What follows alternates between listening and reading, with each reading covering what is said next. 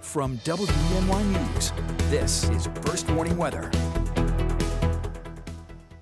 Well, welcome back. Another unseasonably mild day across the Twin Tiers. I keep saying to myself, I hope we don't have to pay the price come May when we get a blizzard or a snowstorm, something like that, because boy, this winter has been very easy. Temperatures well above average and not a whole lot of snowfall. So again, uh, as I look forward, it doesn't look like there's going to be much opportunity for snow in the next seven days at least, even though we do have a brief cool down headed our way uh, as early as tomorrow night and into Thursday. Check out the almanac for the day today. This is just unreal with a, a high temperature of 67 degrees. Normal high this time of year is 39, so the record high today was 56, so we just crushed that record. Seven, or 67 again was our official high temperature, and uh, we started the day off at 26.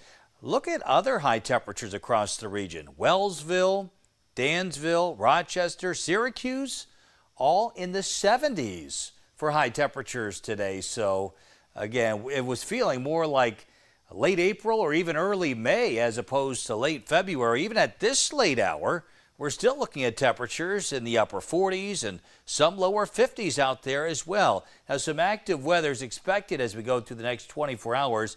A wind advisory goes in effect tomorrow afternoon, lasts into early Thursday morning. We will be tracking more showers, even the risk for some thunderstorms tomorrow afternoon and early evening. We're expecting a sharp temperature drop. We'll go from the 60s tomorrow afternoon into the 20s tomorrow night. And that'll happen within just a couple hours. And that potentially could result in a flash freeze. All associated with this cold front that'll be coming through. Gusty winds associated with it, and then sharply colder temperatures. There may be a brief changeover to some flurries or snow showers behind the front, but it's mainly rain that we'll be tracking. Speaking of rain, we have a couple showers coming through uh, Pennsylvania right now. Some severe weather, tornado warning, and more severe thunderstorm warnings here over southwestern areas of Michigan. And then the cold front itself is just to the west of Chicago. That's what's going to sweep on through by tomorrow afternoon. In the meantime, again, a couple showers could pass through during the overnight period. Can't even rule out a rumble of thunder as we do have some elevated instability in place. Speaking of instability, let's track that cold front for you tomorrow.